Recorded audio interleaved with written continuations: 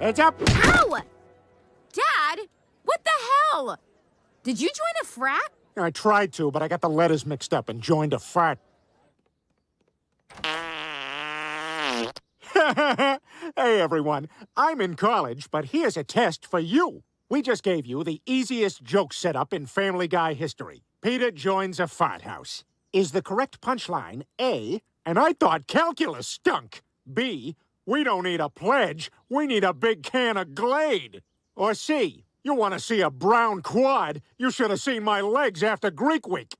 Good luck to you. And now back to our story. Hey, ladies, toga party tonight at I Delta PU. Tell your friends. Ew, no. they all say that.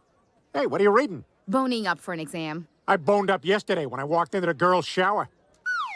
Dad, please! Sorry, Meg, I've been smoking doobies all morning. Talk about higher education.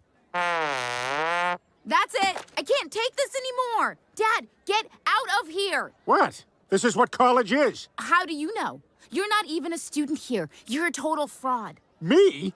You wouldn't even be here if your mother and I didn't pay someone to get you in. What? Yeah, your whole application was fake. Meg, is this true? What? No, of course not, Dean nearby. Well, if it is, you're going to be suspended. Oh, no! Well, that weekend on the Cape with Principal Shepherd was a waste. I know I said I wouldn't get clingy, but when can I see you again?